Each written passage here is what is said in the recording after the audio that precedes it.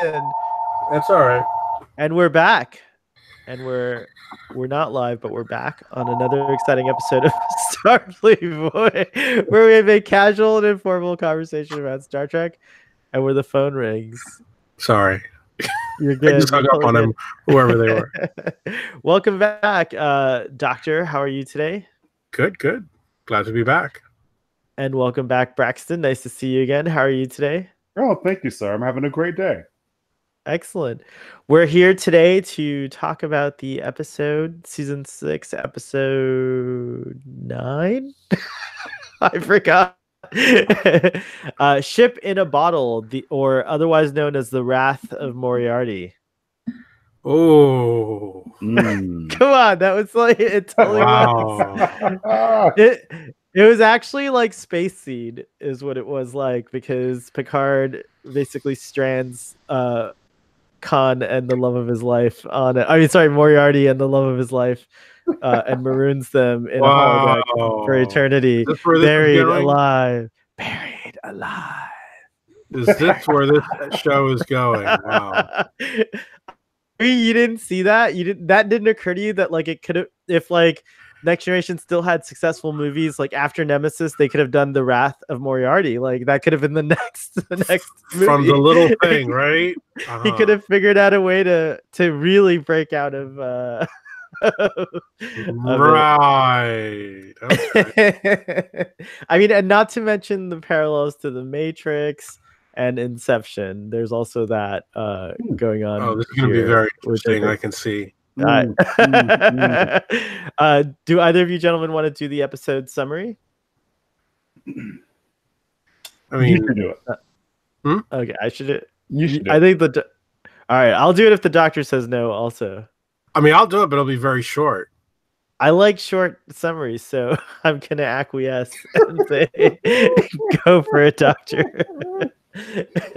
All right, the Enterprise is on its way to uh, investigate uh, two the uh, coalescing. the coalescing of two gaseous giants into a star, and uh, uh, Data and Geordi are playing Sherlock Holmes again, and everybody's left-handed, so they call Barclay. Hey, Barclay, fix the the freaking holodeck, and the holodeck uh, burps out Moriarty, and he uh, he tricks Picard, Data, and Barclay into thinking that. Uh, they're that Moriarty can walk out of the holodeck, but it turns out they're really in a in, in the holodeck the whole time. And uh, as you alluded to earlier, uh, Picard pulls a, a Kirk and and maroons Moriarty in a ship in a bottle forever. Very End nice. Summary. That was okay. That was a very very short summary. I have to say it got ev- just about everything in there. You forgot to mention the woman, the love of Moriarty's life, uh, who's also a character. There'll There's be more of that later. There's lots of twists and turns in this episode. Yes, there is. Uh, a lot of twists and turns. So I think your uh, summary was fair, except you forgot the biggest twist was that Picard tricked Moriarty into thinking he actually left the holodeck at the end because they were to, they were able to program the holodeck within the holodeck with Barclay's assistant, who's like a holodeck genius. so uh, no, the biggest the biggest trick for the audience uh, in the show was that Moriarty that everybody was on the holodeck. You know, I feel like we got halfway through and then we figured out, oh, everyone's on the holodeck. Um, so before Captain Picard, um, you know, tricks Moriarty, we have the big reveal that everyone is on the holodeck. It's only what um, Captain Picard, uh, Data, Barclay and Data. and yeah. Data. Yep. Right. Right. Well, actually, so wait, now I'm confused because I didn't think everyone was on the holodeck. I No, only a- thought, what's that? Go ahead. I only thought that it was Barclay, Data, and uh, and sorry, Barclay, Data, and Geordi. No, no, Picard. That's okay. See, we're all confused. I'm totally confused. Yeah, no, no, Geordi's not real. Geordi's not real. Right, Geordi's not real. Mhm. Yes, no, I remember that now. You're right. Geordi's not real, but he there's a real version of Geordi that's outside the holodeck. Is I guess what I was trying to say. Yes. Riker is dealing. In other words, Riker and Picard are both dealing with Moriarty at the same. I mean, Moriarty is pretty awesome. I have to say, like as a character, I jokingly said the Wrath of Moriarty, but you have to admit, like the character was designed. Like the character is just pretty amazing. And Yeah, uh. Do you guys know the actor who plays uh, Moriarty? Uh, who he is? No. No. He, he would. I know him from another show called The Nanny. Oh. I, I don't know. If, did you know? and he was a snarky butler. Uh, his his name is Daniel Davis, and he was a snarky butler. And uh, Braxton, I don't know h- how big a Sherlock Holmes fan you are. Um, But we're gonna but the- find out today. we're gonna find out today because the doctor and I are huge Sherlock Holmes fans, and in particular of the Jeremy Brett Granada 19. It was this a version of Sherlock Holmes that was in the 1980s, and I think I can say this for the doctor as well. But I and the doctor consider Jeremy Brett to be the definitive portrayal of Sherlock Holmes ever. Oh like wow. Oh, he's wow. the Jeremy Brett is the uh. Cataract. uh, yeah, he's like the Kwisatz Haderach, whatever you know, the guru of Sherlock. And and Benedict Cumberbatch is okay, like Mhm. he's amusing to watch. But if you watch Jeremy Brett, you're just like, there's no competition. None at all. I think I think ben, uh, I think Benedict Cumberbatch would also admit to that, Probably. if I had to guess. But Daniel Davis, I think, is a better Moriarty than the Moriarty that they had on those Granada TV series. I think that he, the actor who plays Moriarty here, and especially in this episode, I just really liked how he like uh was so deep and like there was so much to him and like even you know the the scene that i really like the most is when he's you know picard the whole time is suspicious uh that he's uh you know he's like you're there's no way you can escape your programming as a uh, criminal mastermind and and he's always like uh, professor i must remind you that that uh cr- doing these criminal things will will land you in jail and he's like i'm not those things he's like i'm beyond i've i've grown beyond what was written by 400 years ago by Hmm. some englishman uh, the way he puts it you know right. uh and he and he's this new thing but yet the whole time though he is he still resorts to uh criminal like activities in order to get his way Mhm. uh such as threatening the enterprise's thousand crew to death so Yeah. he hasn't really changed he's not really different so i just loved it i like i like the tragedy of it and i think he Mhm. would have been a great Moriarty in one of those. Cla- I think he would have been great in like one of those classic series. Uh, honorable mention to the Moriarty in the Robert Downey movies. I think he's pretty fab too. Yep. I totally agree. He he he was a man of his programming. So yes, he was devious and he held everyone uh, hostage to get what he wanted. But he was also like, oh, I think, therefore I am. You know, so he was like a man of his programming, but then he kind of wasn't at the same time. And I really enjoyed What- that. Which I think all humans, to some degree, I think there is, uh, you know, uh, another series I love is Battlestar Galactica. I think that we grapple with this idea of destiny versus, uh, you know, choice, right? Mm. Like, uh, des- Nature having your versus own- nurture. Uh huh. Uh huh. Mhm. or more like make your own destiny versus your destiny is written in stone. You know like uh many people you know believe that like we are programmed to exist and we have programmed with a purpose and then others are like no we can defy this purpose or we can do whatever we want. And so i think that is also a theme that's inherent in moriarty's struggle and the way that it's portrayed. And again beautifully acted by daniel davis. So tell me, so what did you guys think of the uh, of the opening scene? You know, we open uh Geordi, Data, uh some holograph character, they're like solving a mystery and they're like, "Oh, okay, so I've deduced this thing and you killed your brother and I'm going to throw this thing to you and right hand left hand." What'd you guys think of that scene? Oh, how so? Uh, I think that it was like classic Sherlock Holmes type tropes, but I I don't remember any of the I don't remember a character like, you know, I think they they only uh they make up new I new things for the hol- holodeck. So it's like Data's doing these adventures, but they're kind of like invented by the computer to try and fool him, and that's kind of what I got. But he's he's never really fooled because he's like, you know, like Sher- Data is like, you know, Sherlock Holmes in the sense that he has a great capacity to reason deductively. Like he actually sees details that the normal, you know, person would not see, you know. And so like Data is like uh, Data and Sherlock Holmes being compared, I think has always been like a a thing that made sense to me. I will say that I've never really enjoyed Brent Spiner's portrayal of Sherlock Holmes. I love Brent Spiner to death, and uh, I would tell him this uh, in person because I think he does it a little too much like Basil Rathbone, and I think he needs to do well, it. in his he looks like Basil Rathbone. he does. He is a dead So, ringer. he's got the profile, which which is which is you know the who's It's it? true. He is. Sidney he is a dead ringer. Yeah, he's a, he's a dead ringer for the Sidney Paget. uh, uh, Holmes. No, I'll get, Yeah, for sure. So- That's true. But I, I, I, I, I will, I will say that his, his, uh, I mean, obviously, it's Data playing Sherlock Holmes. It's not Brent Spiner.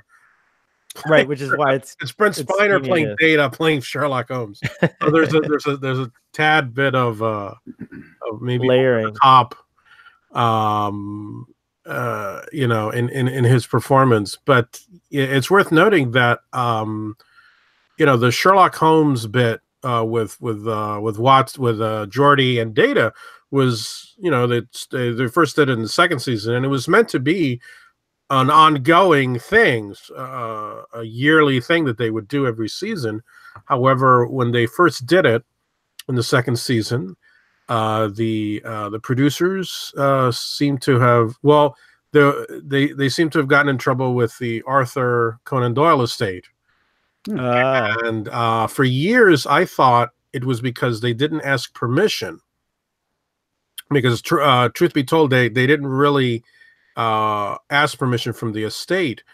But I was just reading up on this episode, and I read that in fact it was a misunderstanding between the producers and uh, and the Arthur Conan Doyle estate over over young Sherlock Holmes, which was oh, the Paramount movie that came out. the yeah. movie. Apparently, the the Arthur Arthur Conan Doyle estate did not like or approve of of that movie, and they were very annoyed with Paramount, and and that's why they didn't really. Uh, they they were they they were angry at Paramount when they used Sherlock Holmes again in Star Trek, but uh, but eventually, you know, things come down and and they were finally able to to do to to do this episode, which uh, was intended to be done much sooner than the sixth season.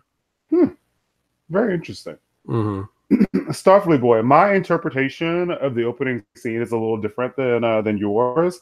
So, my interpretation of that scene was that uh, Data and uh, and Geordi were doing Star Trek, or um, doing Star Trek, doing Sherlock they were Holmes. doing Star Trek. They were doing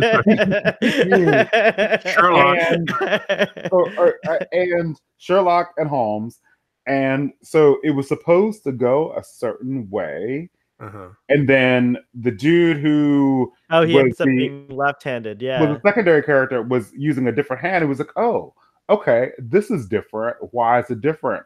And then the next scene, Barclay goes and he's like, oh, okay, well, like I'm discovering that it's different because of this isolated program in the holodeck file.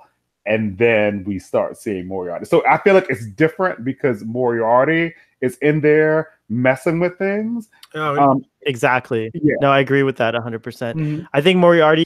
The, the tell is that everyone seems to be left-handed by default, and Moriarty's left-handed. You know, so he kind of when he programmed like these mm. characters, he and, okay. Now I understand what you meant by everybody is in the holodeck. It's true from that perspective that he created like everyone on the Enterprise, so that Picard, Barclay, and Data would not notice but also we were tr- we were tricked twice which is great i know like when an episode this is i think this is a good episode from like a structural standpoint because like as an audience member, you really are uh, fooled the first time. And even actually, uh, you know, I think I, I guess maybe my brain works in such a way where I erase the the surprise because I seem to get surprised every every single time by it. like so kudos. But I would say that yeah, there's that, and also I think in one scene, Counselor Troy is wearing a different uniform or something like that. yeah. Um, I I wrote I wrote some notes about those little you know discrepancies where where you start to see it uh, come to light. Um, I've got a lot of notes. Uh, s Moriarty says he was in the in the holodeck when he finally meets Picard. He well, he tells Barclay this, but but then Picard apologizes for it. But like that he was in the holodeck conscious throughout the four years, like meaning he had like moment he could detect the passage of time. So that was one of the reasons why I think he was so upset and angry is that like it wasn't just like quiet sleep for him. Like he was mm. actually like conscious the whole time and he's like, why isn't Picard doing anything to fix this? And I actually got the impression, I don't know how you guys felt about this, but I thought that like Picard's like reasoning was kind of half-assed. Like I think he really they really didn't do anything in the last story. well, I didn't kinda, believe. like- I didn't believe they Picard at like- all. No, I, I, I. They- we we uh we handed it off to the science team on uh regular seven. Uh, they're, they've been working on it this whole time, uh, you know. Mm-hmm. and Moriarty's like, I love that scene actually because Moriarty's like, I just don't believe a thing you're saying. And I was like, like it for once, I was like, wow, Picard's like a total. uh He's really uh stretching the truth here. No, I mean, he was right. Uh, you know that that that actually brings up a good point, which is, um, and I, I actually for for this I went back and I rewatched our discussion of Elementary Dear Data, oh, how exciting! and um, and and if you want, I, I I can I can well I don't know if I can share the screen, but uh, definitely one of the concerns I brought up is you would have thought that after elementary dear data where all geordi does is say computer create a foe capable of defeating data and automatically sentient life is created at the snap of a finger it's you true. It's thought- instantaneous. you would have thought that they would have put all the holodecks like on f- like just okay let, let's take them all offline let's figure out what's going on this is some crazy shit going on and and and that hasn't happened in four years And the crazy shit continues because Vic Fontaine, continues. yeah vic, Vic fontaine, Fontaine in DS9 is a character who's much, very much like Moriarty, and then of course Doctor Zimmerman on Voyager is is like you know very much like this too, and they they all have personalities and like appear to have but sentience. here's my question the computer creates them so is it really the computer we need to be afraid of or is it the holograms we need to be afraid of It's i'd like to know what computer. you It's- guys think I think the computer. I think the computer is is uh well it's okay, so this goes to the argument. This kind of parallels the argument is a gun a tool or is it or is it something that does the killing, right? Like is the computer just a tool or is it the actual like villain in the in the story? And it's hard to say.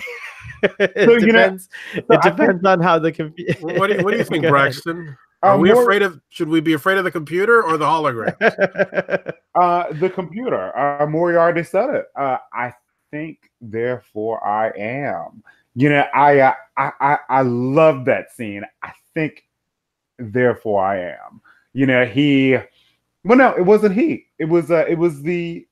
Was it him? In the in the computer. That was it was Nick- him in his own hologram, in his own holodeck. Yes, So therefore, he- it's the computer. It's the Yeah. computer. We should be scared of Yeah. the computer.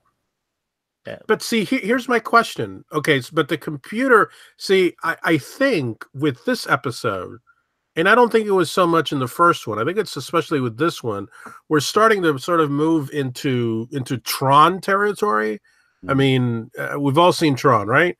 Yes. Where the programs have their own personalities. Mhm. you know, which really doesn't make any sense. It's the computer.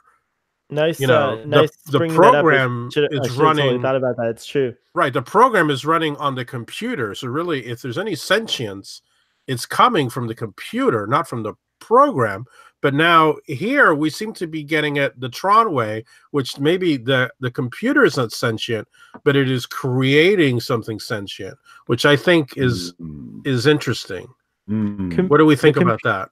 The mm. computer on the Enterprise is like, uh, when I was young, it- it seemed like a dream machine. Like, like this is now this is a far this is far away from reality, and this is like you know whatever 1992, right? This episode, More or less. Yeah, yeah. 92? So in 1992, and Braxton, I think, was in elementary school, if I'm not mistaken. Oh my god! Uh. I was a I was a freshman in high school in 1992. Oh, you're like our age. Oh, I- wow. You look Okay. so young. Yeah, I'm, I'm 41. Oh my god, you're exactly our age. Well, no, Wow. my age. Did- Wow, Braxton, you're doing life better than I am. Yeah. Uh, What's the secret, man? Very nice. All right, so okay, then you know the computers were like, you know, we had dial-up modems at the time. Like, uh, the the maximum capacity on a hard drive was in megabytes. Like, you know, you were like impressed if you had a 500 megabyte hard drive was like Mhm. ridiculous. What you know, like, um, For real. just just yeah it was it was a different time and we're getting into uh you know the territory where like in a hundred years like it won't be anything to have a phone with like an exabyte of memory on it you know i, I just Yeah. have a feeling which you know the enterprise computer is insane so one of the ways i imagined uh, from this episode i i actually thought a lot also about the technology behind everything um but one of the things I imagined is like, you know, just to support the navigation functions on the enterprise alone, the computer has to have an extremely detailed model of the galaxy within its data banks just like the most like incre- you know like so so what it can cre- like all these things that it needs to just do basic functions Mhm. are like the feeding ground for all these miraculous things it can do or when it's honed through someone like Moriarty, like a Mm. character or a program like Moriarty. So the computer itself is not capable of the level of like sophistication or personality that Moriarty is, even though it's the source of Moriarty. But a, a, a task was requested of it, and it said, "Oh, I need to do my best job." Like the computer itself just said, a, a, a crew member requested this thing. Let me try the best I can." And it ended. Up, I remember in the previous episode, it ended up like draining a bunch of resource. Like it was a huge chunk of Mhm. like resources or whatever. I don't know. Maybe I'm making that up. But but regardless, I imagine that that's the case. And so it creates this like sentient program Mhm. but it- I don't think the computer intended to create the sentience. I think that's also a mistake. I think it just happened that when you put all these like different things together that are required to create an adversary for data, you end up getting something that borders on or appears to have sentience just like data does. I think Moria- Moriarty shows what's interesting about Moriarty uh, is, and then later Dr. Zimmer and, and and Vic Fontaine is that it shows that the computer can develop and maintain a genuine persona or personality. Mhm. Is that the is the computer that persona? No, it's the battery that's powering that persona. But you know what is that persona? And that's the truly like un, that's in the unknown territory, and that's where like I think this episode and episodes like it are pretty awesome. but does it make sense? Well, two things. Does it make sense that the computer can power a personality and the computer itself not have a personality? I think it makes sense in the in the Because that, Moriarty like- does take over in- the ship, So the thing, I think the way to. I think the way in to the look first at it. one, at well, least. yeah, In the first one. I Not think in the, the, way to second look at one, it. because it's it's a it's a hologram. But in the first Moriarty episode, he does take over the ship, the actual physical ship. so the thing Right? is, you feed the computer data. You tell the computer what you want, what you Right. want, the parameters, and then the computer goes about creating it. So Mhm. with Moriarty in the first episode, uh, gosh, I forget who it was, but it was like, oh, like yeah, like give me a uh, a nemesis that's like data or this or like is superior to, to Right. data. And so it Capable created Moriarty. Mhm. Right. Um, so I think that you give that you upload all this information into the computer and then it does something and it's totally out of hand. I think that Moriarty and the computer are indistinguishable from one another in the same sense that you are you're indistinguishable from your body and your brain, right? Like Mm. where where do you exist? Do you exist in your mind? Do you exist in your, your heart? You know, like where where But, where but does okay, let's follow that. like- Let's follow that. So My wait, brain so I think that like can create wait, a so- character. right, but I our write brains a are capable- character.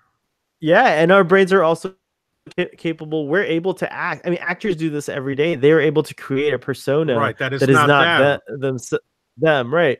And so, it in much the same way, the computer is the brain, if you will, that's powering, that gives, that feeds this persona. Where does the persona exist on the computer? We know that. Where we have no idea. That's mm. the mystery. No one knows. Not even the, that- the crew of the Enterprise they've been able to they've been able to isolate it to a sep- a program but even moriarty claims like he was not isolated. Like he was still conscious throughout those four years Mhm. meaning he was integrated into the other functions of the computer. Like he had these moments of awareness that proved to me that he wasn't eh, they weren't able to just take that persona out if you will and isolate it for four years.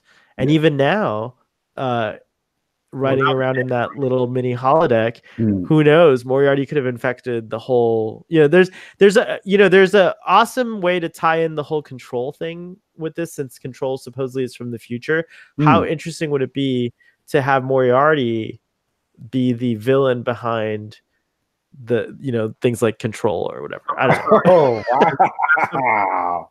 wow! what's that is control is a fan fiction thing you're talking about. oh yeah so the doctor doesn't acknowledge star trek discovery so yes i am talking about fan fiction. Oh no! But ironically- Doctor!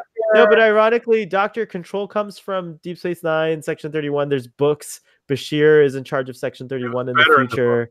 It was I know, but I'm just saying it's, Called control.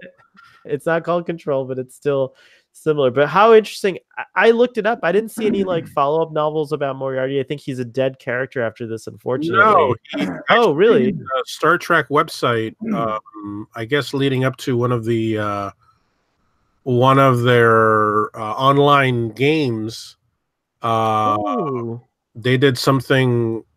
They they did some pages that said the lead up to the path to twenty four oh nine, and in it, the StarTrek.com stated that the Soong Foundation learned of Moriarty's existence and sued to take custody of the holographic program, while Starfleet attorneys argued the security issues of doing so. wow! Oh wow! So apparently, Oh, wow. so he's in legal limbo. he's in legal uh, once again. Mm. in limbo. which I think is, is quite uh, quite amusing. Oh, that's fascinating. Yeah, Yeah, I didn't know that. That's pretty cool. Very cool. I was wondering what, but you know, there's still a chance the the Wrath of Moriarty could be a, a real thing. yeah it's a script here. so um okay so we, uh so uh what do you guys think of uh the performance of the actor who plays uh barclay uh um uh I loved specifically in that um like the second scene where he like he's like oh how do you know the captain he's like oh i know the captain because like you know this thing and he Uh-huh. gives him the rundown like what did you guys think of that scene That that that scene, I guess it was so, it was interesting because you, um, I guess for the you know each episode is supposed to stand its on its own, right? Mm. But there's obviously a lot of of of uh, backstory when you bring back Moriarty. So Barclay, having not been in the previous episode, could ask the questions that the audience might have. yeah You know, and yeah, I like that. That's true. that was sort of that was interesting because yeah why is barclay in the episode well barclay's in the episode because he didn't know what happened in the last episode so he's kind of the audience seeing moriarty for the first time which i thought was an interesting use and then Mhm. he gets the best line in the whole episode at the end because his Oh. neurosis kicks in and Right, and- like computer end program. Yeah, actually, that's like, really funny. Uh, yeah, he- just wants to check because he's so neurotic, which I thought was the best part of the episode. It's a it's a Mobius type of idea, and it's pretty trippy. And I think that like, you know, it's certainly something that you know. I I really hope in my lifetime we get to like uh experience something that's like the holodeck. Did I tell you guys about this? Um, I I know I told the doctor, but Braxton, there's this um this uh, virtual reality experience uh, for Star Wars, and they have it at the Disney. I think they have it at the Disney uh, Village now, is where it is. There's one in Las Vegas. That's where I went to go see it. But it's different from a normal virtual virtual reality experience because normally you just put on the goggles and you're kind of like looking around and you only move within a room. This is a whole compound, and they created like a bunch of rooms that you can walk through, right? And they're all Mhm. mapped to something digital, right? So, uh, you know, I must, uh, you play a stormtrooper in the game. And so I put on this thing and it was the most realistic experience. It was the closest I'd ever been to actually being in the, on a holodeck. When I got on this like lift that takes you above the lava on Mustafar, you feel the heat and the wind blowing through like your face and like it's just nuts. I was gonna say hair, but I don't really have hair. But oh no, I think we lost Braxton. Oh, there he is. but anyways, you feel the heat, you feel the wind. Uh, you know, it's just it's just totally crazy when a when a, uh blaster hits you, you feel like it actually jolts you where where it seems to have hit hit you. It was just like one of the best experiences, and I completely forgot that I was wearing this gear and I was totally immersed in the experience. And so I thought, wow, if it's that easy, can, I, I mean, I can just imagine what's ahead in the future. Like, it's going to be pretty insane. Hell yeah. Hell yeah. We could literally explore Mars, the moon. I mean, we've already mapped the surfaces of those, you know, of those planets. Like, without being there, we can like have an approximate experience on on both of those places from Earth. It's pretty neat. Interesting uh, implications for space travel. Very cool. Now I have a question. What do you guys think about the uh, the Contessa as a character? Do you think if if do you, number one, do you think she's necessary? And number two, what if what if she's just pulled out of the plot? What what what, what would it have affected it much? You know, I thought it was uh so like uh now European for Captain Picard to say, "Oh, you know, I can tell that you're a woman of good breeding and and and like and culture," you know. And she was like, "Oh yes, like I'm a countess. Like yes, of course I have like good breeding and like I'm a woman culture."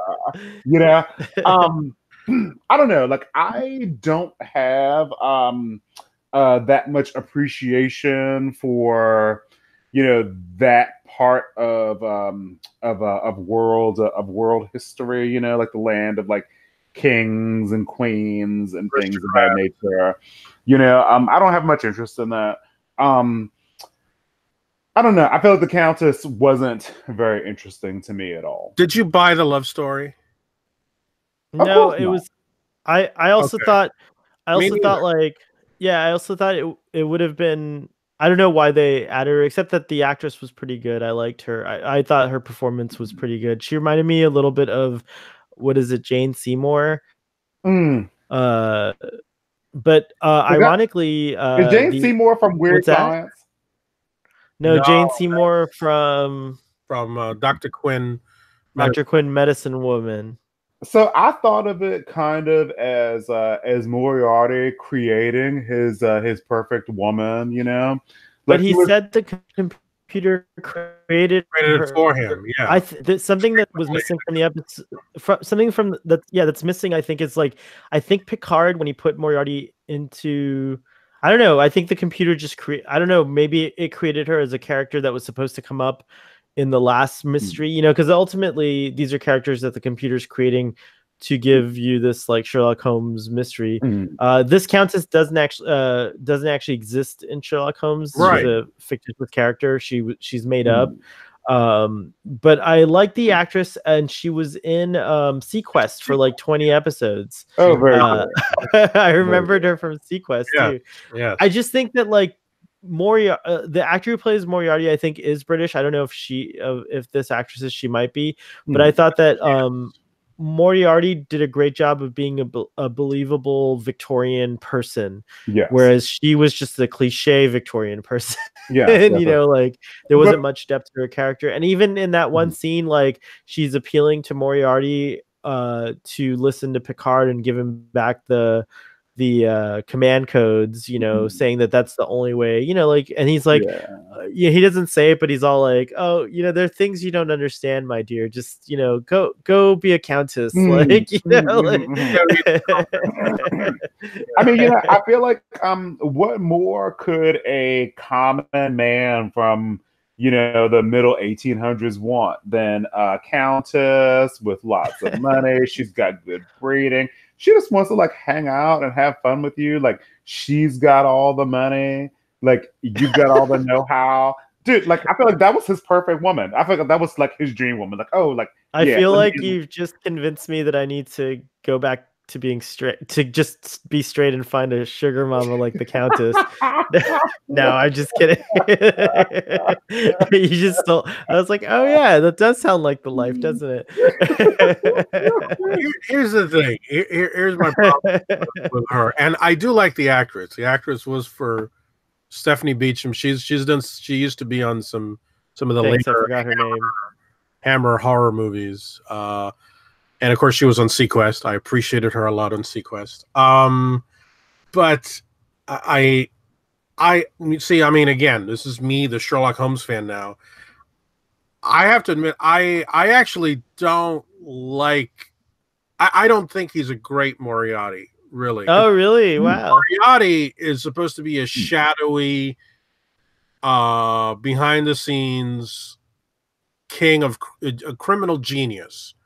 Hmm. Okay, I mean that's what you get from the books, and that's what you get from most of the good Sherlock Holmes adaptation is that he's he's a he's a criminal mastermind, and uh, and actually in the first um, in the previous uh, Sherlock Holmes episode, The Next Generation, uh, you know he was hanging out around with with hookers. So I mean he's not hanging around with with high society. He's hanging around with with people more in I guess more in his station down there in in the in you know where the criminal element is. Uh, I I I think But I think this is an example of because the character does become enlightened, as he says, and even though he still resorts to these sort of like God, criminal ideas, I think that I think in doing I think he's a Moriarty. You know, again, he's something new, which is what he keeps claiming. he's not Moriarty then. Like he loses the the essence of being Moriarty by becoming the refined gentleman who's in love with the countess or the, the countess or whatever. Um, I, I I I just didn't buy it. You know, Hmm. I, I I actually I, the first time I saw it way back when, I was thinking that Moriarty was going to some you know once he he got what he needed uh he was going to to kill the countess and show himself to be Moriarty and be like oh I don't I don't I don't care about you you were just a prop and you know shooter or something that would have been Moriarty and then That's true. you would have had Picard or Data be be Holmes to his to his to the Moriarty and have to defeat him. But but I just never felt much of a threat from Moriarty. I mean, yes, he did. I don't think we're. A clever. I don't think we're meant to. I really don't think we're, especially in this episode. I don't think we're meant to. the the, the uh, he's the arch nemesis of Sherlock Holmes. Sherlock Holmes says, But he's not. "Me of But all that's not. He's now the arch nemesis of Data. That's what he really is. He's not. He can't. You can't. You know what I mean? Like, yes, his name is Moriarty because he's, he's like you know that's the character that he started out with, but he is essentially uh, the computer's response to Data. Mm. Like he's a brother or a nemesis for Data is essentially what he is, and he. I think he acts appropriately. I don't know. I, I would have preferred a more evil I know. I mean, come on. like Who would? Yeah, I get. I hear what you're saying. when No, the thing is, you know, but in a sense, I feel like he certainly is uh, evil. Uh, in this episode, again, he puts the ship in uh, in jeopardy. He puts all lives in uh, in jeopardy. You know, so like they're moving to the um to the, The- merger of the planets, and he's like, oh, well, unless you guys like give me my freedom and let me go, like all of you guys are gonna fucking burn. Oop, sorry, all of you guys. That's fine. Yeah, that's fine. we can Oh. get one F in the PG thirteen. It's fine. You can get an F. It's All late in the broadcast. all of you guys are gonna burn up in the merging of the planets again. But do you think he really? Do you think that like Did you had they not? that threat though? Did you really feel? lo- Did you feel like he would? No. Well, I'm asking. Do you? Did you feel like if they were not successful, quote unquote, like as they weren't, but if they hadn't shown that they were successful to him, do you think he would have handed the keys back over at the last minute, or do you think he rel- really would have let the Enterprise burn? So again, uh, so I think that the episode was wonderfully acted. I think that actor is very, very good. Uh, I felt the urgency uh, by the cast. I feel like he would have destroyed them all to get what he wanted. Um, and I think that Moriarty would have done that. I think that, um, yeah, I think that that actor he did a great job, and then the, uh, drawing from the source material as well. That man was very selfish, and he would have destroyed everyone to get what he You really, you really felt it. I didn't think it. Yeah. I, I thought he would have actually like, I, I, well, I like to believe that he would have actually not let the crew die, but maybe I have, I have more, I have more sympathy for the devil than you do.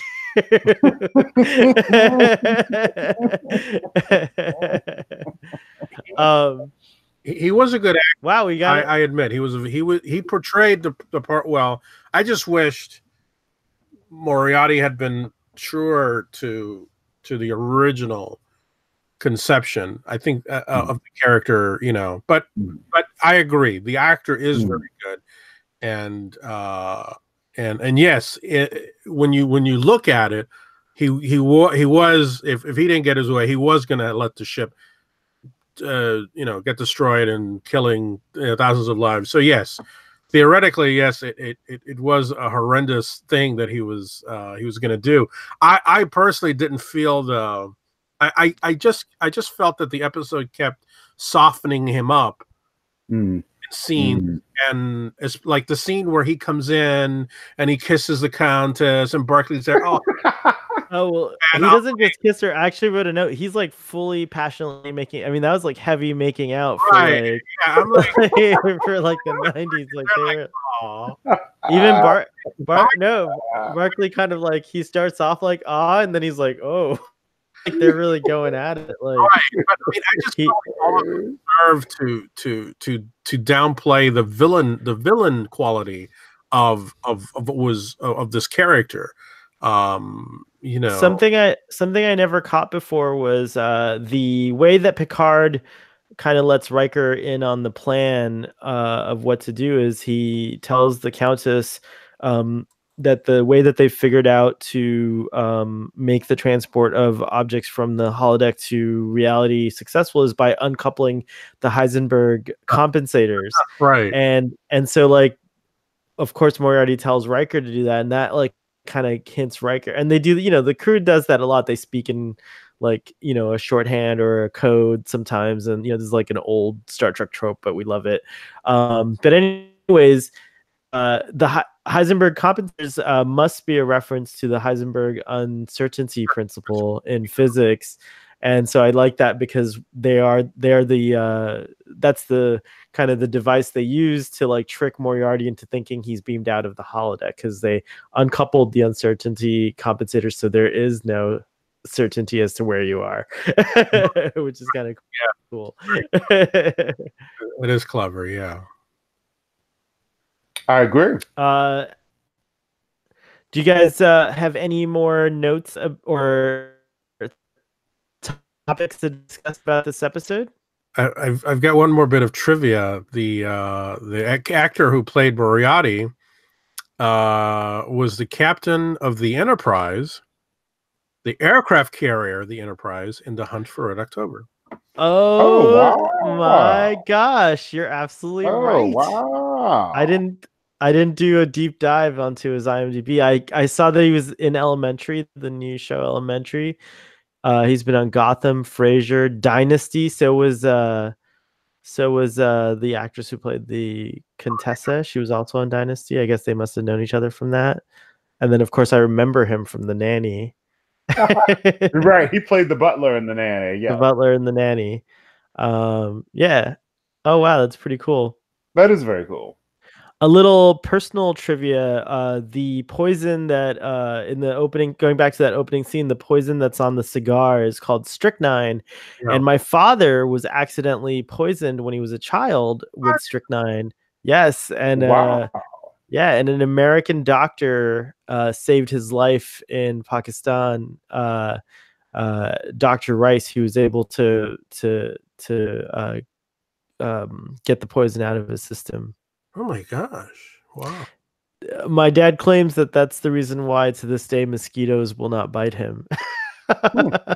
That's that's super interesting. I didn't realize that strychnine was uh, actually a uh, a real poison. yeah, Very rat poison. They, it's a rat poison. It's still used today. Um, You said you had an announcement. oh yeah. Thank you, doctor. I am going to Florida SuperCon uh, next week for uh, for all four days. That's Oh really wow! And uh, Commander Riker is going to be there, Jonathan Frakes and George Takei, and Nichelle Nichols is rumored to be there as Oh my well. god! Is Spock going to be there? No, no Mm. one else. I don't think anyone else from Star Trek is going to be there. It's more of a all. It's an all-encompassing thing. What's that? Jason Isaacs will be there. Oh, Jason Isaacs will be there. That is true. Mhm. That's right. So Cap- Captain Lorca. I'll get to meet Captain Lorca. How exciting! So I'm doing. Uh, I'm going to a shore leave uh, here in uh, in Baltimore, uh, uh, mid July, and Ooh, uh, what is shore leave? Uh, so you know, like it's like a, a little Star Trek convention, uh, and Oh, cool. Ethan Peck, uh, and the uh, and the guy who and and Captain Pike, uh, Anson Mount Anson are Mount. both going to be there. Gosh, I cannot wait, dude. I cannot. That's Wow. exciting. Oh my gosh, those guys are so amazing. yes. Wow, that is cool. And it's Oh, called shore leave. It's called Shore Leave. So uh, Shore Leave, I think, is uh, is uh, a smaller uh, kind of event that's in a More lot of Star Trek focused. It sounds. Sounds Right. like it's 100% Star Trek focused. Yeah. Mhm, And I feel like they're all around the country. Oh, we need to get on the ball here, Doctor. Dude, hopefully, there's a, hopefully there's a shore leave near you guys. Huh. I, I hope so too. Um, I'm looking it up. one now. one other note. Uh, today's the last day of the month of Pride, and this was the 50th anniversary of Stonewall. If you guys don't know what Stonewall is, p- please go look it up. And there's actually a really great uh, StoryCorps uh, has been covering uh, Stonewall. This whole like just everything regarding Stonewall and and uh, Pride and all that stuff the whole month. Uh, so there's a lot of in, uh, interesting programs on the StoryCorps uh, podcast, including the original documentary that was made uh, after Stonewall happened, uh, which is pretty interesting to hear those interviews. Uh, and and I just uh, the biggest thing of note to me is just how people spoke differently. I know it has a little bit to do with the recording technology, but Hmm. just the tone of people's voices and the way they spoke was, I think, a little differently uh, 50 years ago than it is Yeah. today. Uh, but um, yeah, so I've never actually been to a, a Pride. I've always somehow I like I've been near them, but I've I've been working or traveling. So next year, I intend to go to as many Pride celebrations as I possibly can to make up for all the years that I haven't, and I will show my Star Trek Pride and my LGBTQ uh, and all the other letters that are inherent in Plus. between. LGBTQ plus. Plus, oh, is that how we say it now? Okay, Mhm, cool. I like that. Mhm. I like it. Uh, You know, looking Um, at the guests, I'm I'm impressed. They have their N- N- Nichelle Nichols is also uh announced at is going to the be there at Shore Leave. so at the Shore shore Leave leave in going to is the one in, Bal- in Baltimore. Uh, so really, And all, John all, Glover. Wow. All that I'm focused on is uh, is Ethan Peck and Anson Mount. Sorry, sorry, Michelle. I'm, I'm, I'm, I'm imagining if I were Sorry. be like, be." okay, Braxton, Um, I have to insist that if you do meet Nichelle Nichols, you have to give her some proper uh, time because she is a queen of Star Trek. She's Star Trek royalty. I know you're not into kings and queens and stuff, but she is Star Trek royalty, and so I insist you have to try to get a Starfleet boy interview with her and uh, and, And get this her is, on. uh, I don't. She's this is not. also, She's this is also her farewell tour. Uh, she's not Yeah. going to be doing uh, media and, Right. um, You know, and stuff after after after 2019. Yeah, and it's actually really sad. It, the, um, she has um dementia, Alzheimer's, um, and so it's you know in in the more it's starting to get into the more advanced stages. So it's actually a blessing. I hope I get to see her at uh Florida SuperCon next week. I'm really excited that she's going to be just there uh, and accessible to fans. So, uh, all right, cool. So it's time to rate this episode. I will begin. I Oh, give this episode. Oh, boy, no, you're too you're being too fast. Oh, oh, we're not done with the discussion. No. So so you guys have to tell me what you thought of the plot twist. Meaning that oh, halfway through the episode, we're like, oh, actually, we're still on the holodeck, uh, Captain. uh, none of this is real. We're just on a holodeck. How are we going to figure our way out of this? Uh, when I was a kid, my when I saw this for the first time when it aired, it was like a, definitely like a oh mind blown type thing, and and then when it twists again and they get Moriarty in the end, I'm like mind blown twice.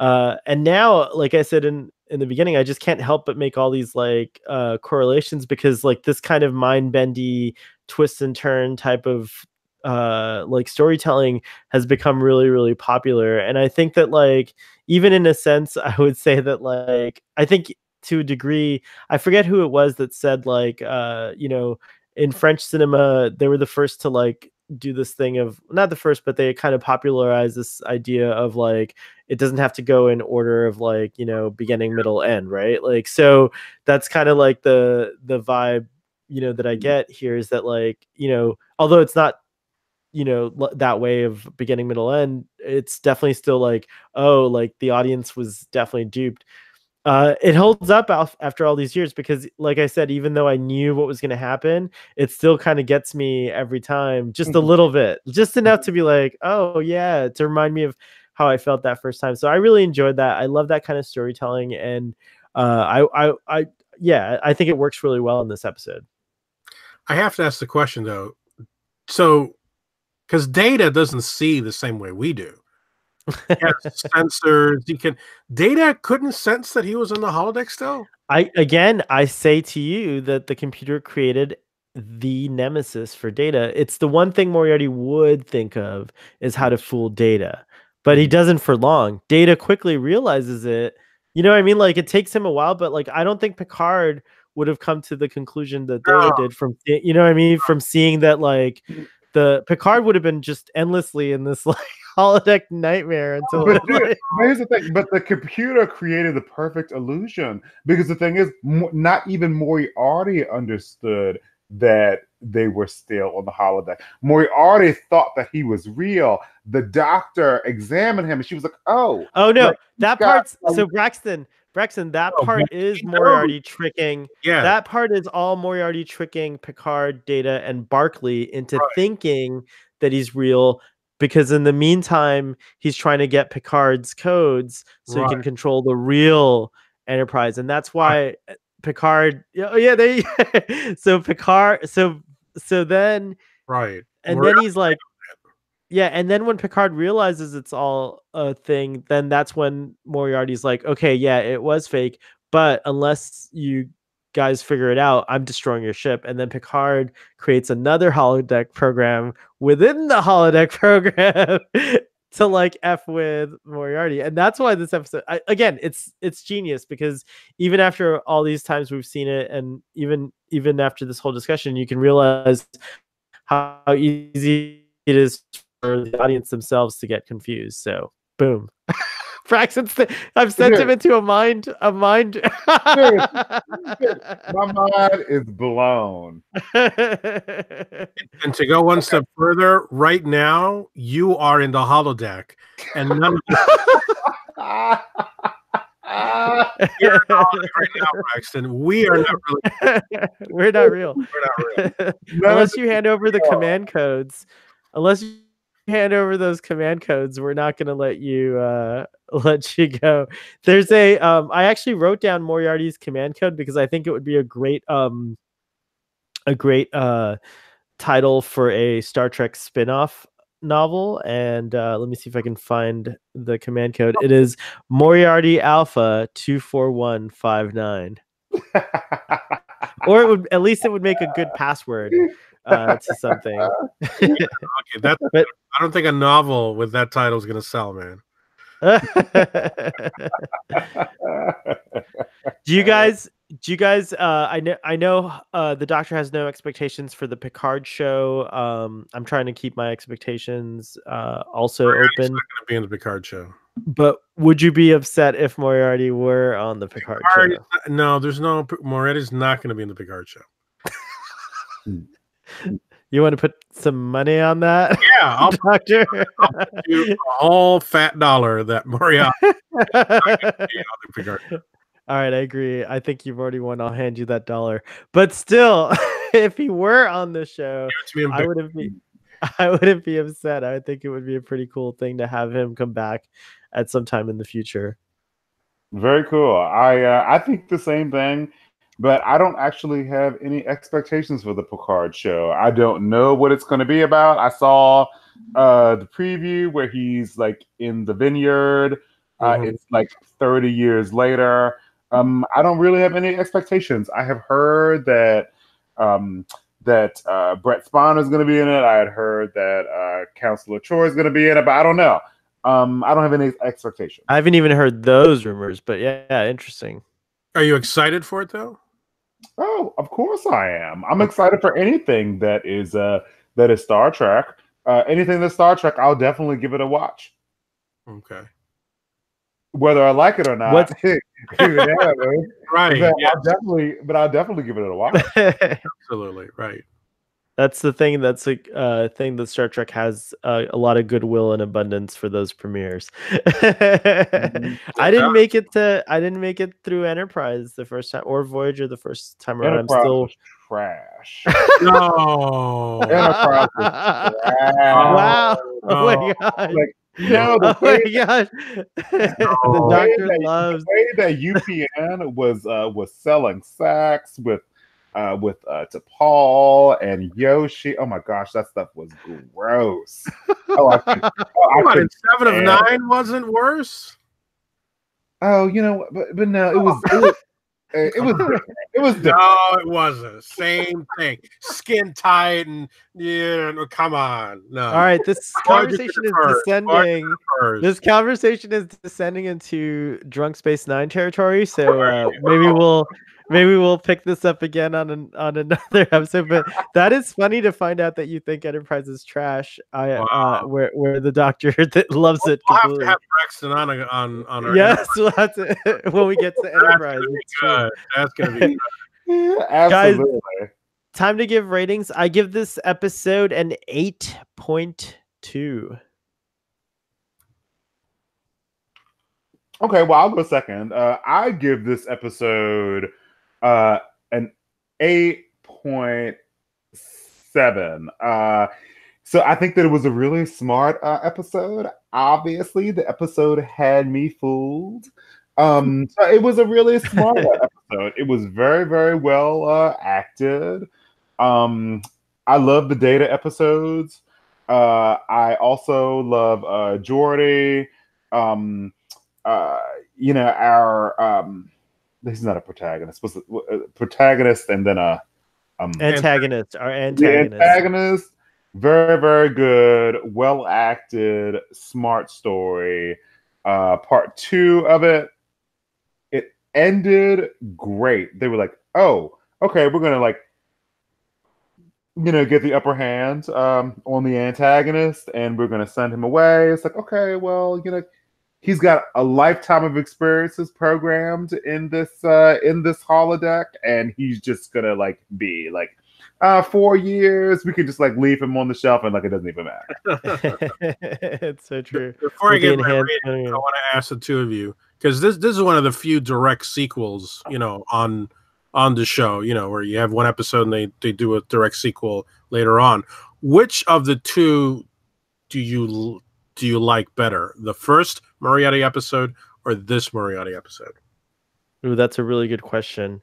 Um, for me, I would have. Oh, it's so it's really tough when I try to choose, but I guess ultimately I like this episode because what we didn't even talk about in our discussion was that like there was also all this cool science stuff. Uh, you know, with the with the way that the holodeck works. It's it just from a.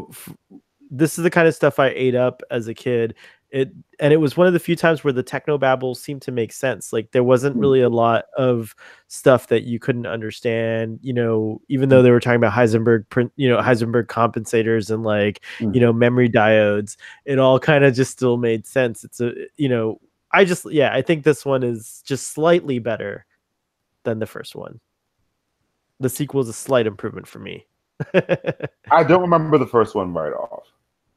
Okay. Uh, but it's you- with Dr. Pulaski.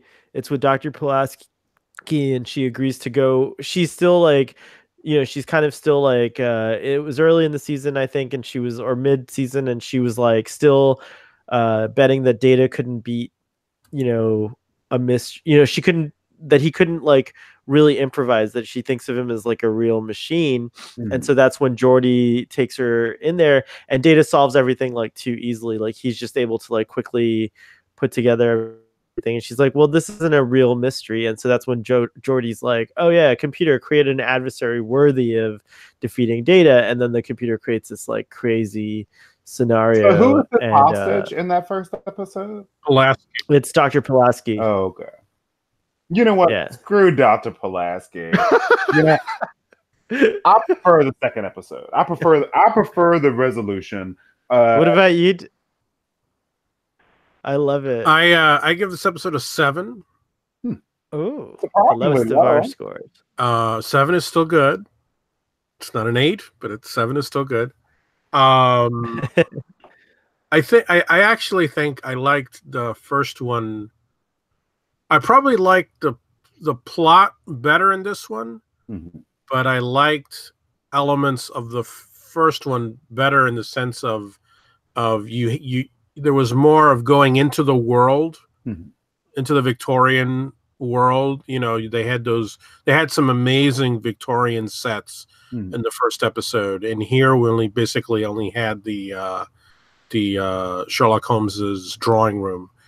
Uh, I think uh, Moriarty was more of a villain in in the first one. You know, he kidnaps Pulaski, and he's got that device that he's you know the Enterprise actually doesn't the Enterprise actually shake because he pulls some lever from the holodeck. Uh, I felt more of a threat for Moriarty in in the in the first episode. Here, it's true. I mean, yes, he is holding them host. You know, he he has stopped the ship, and if the ship doesn't get out of the way of the two planets, it's going to get destroyed. But I, I I didn't feel the the the the, the ticking time bomb there as much as I did in the first episode. But I do admit the twists. This was a twistier story. Oh yeah. Yeah, so it, it they're both very good, but uh, I think I give the the other one a seven, so I'll give this one a seven. They're you know, Cool. So on average, we're at about a 7.8, 7.9.